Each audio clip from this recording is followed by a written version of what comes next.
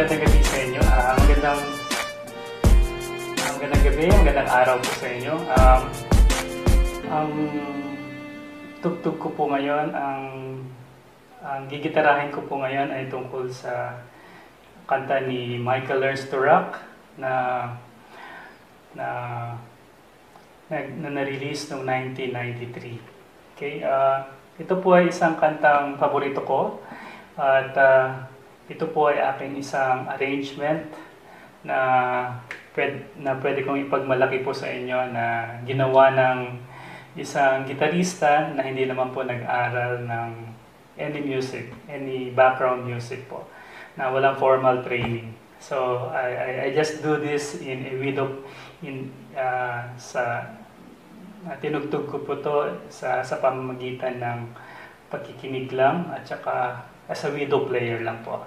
Ko to bilang isang widow player lang.